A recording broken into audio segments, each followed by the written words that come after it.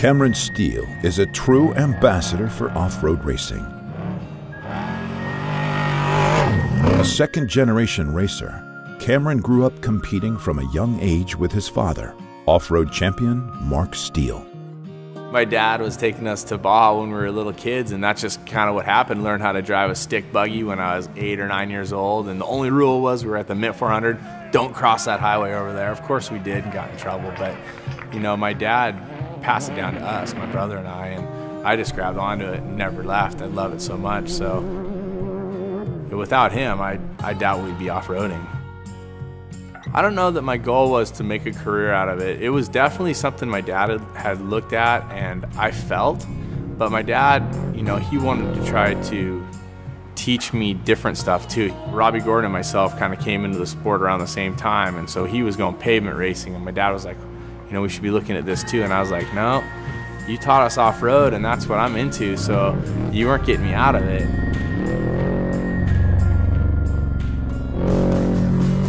Cameron's initial entry into the sport, like many, was on two wheels, and his love affair with motorcycles continues today. He has raced everything from bikes to buggies, and eventually made his way up into the premier unlimited truck class my first off-road race was as a navigator. So I was a little kid, maybe 12, and uh, I was navigating with my dad. Then I started navigating with Johnny Johnson, who at the time had already won, you know, 15 Baja 1000s. When I started driving, pretty sure it was at the Mint 400 in the snow. I'm not sure if I had my driver's license yet. It was so much fun. I remember that day so clearly. The first day, my dad gave me the steering wheel and said, "It's all you." And I brought the car back, and we finished in the top five. I didn't do too bad for a squirrely little Grom. I feel like I did the right thing by starting in the smallest classes or the lower horsepower classes and, and earning my way up and learning the desert, learning how to use the lines, learning where to put your tires. All that plays into it.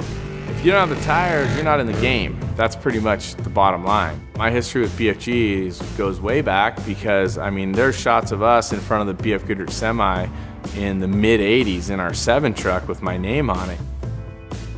We've done some other stuff and now we know after being a part of the engineering and the technology, the different styles of tires, the different compounds of tires, the people that test on the tires. I mean, there's so much to having the right tire to win the race. It's unbelievable what you can put the tires through. And being on BFG, as far as I'm concerned, is, I mean, why race any other way?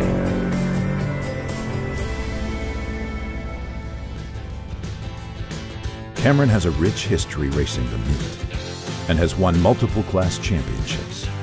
But so far, the overall win has eluded him. I've been fortunate enough to win in 5 1600 a couple times, won in mid-sized trucks a couple times, as recently as with my wife and Jamie Campbell, like in 2009 finished second overall in the unlimited trucks. But guess what? Never won the unlimited overall. It's just like something that nags at you, right? It's like the biggest race in the United States. It's all the glory, it's got all the TV, every competitor is there. There's 50 unlimited trucks, right? You're in it. The Steele family name needs to be top that trophy. And that's the goal, right? That's why we go. And so the Mint 400 is like right here in my heart. I want to get there. Can Cameron Steele take home his first Mint 400 overall victory this year?